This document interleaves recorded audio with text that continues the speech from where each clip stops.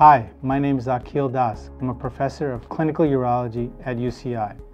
You may know that you have BPH if you experience any of the following symptoms an urgent or frequent need to urinate, difficulty starting your urination, dribbling at the end of urination, needing to urinate more frequently at nighttime, also known as nocturia. You may develop urinary tract infections. You may have an inconsistent or weak urinary stream. Some people experience incomplete bladder emptying where they can't empty their bladder. And lastly, some people experience blood in their urine. We are here to help you and thank you for trusting us for your health care.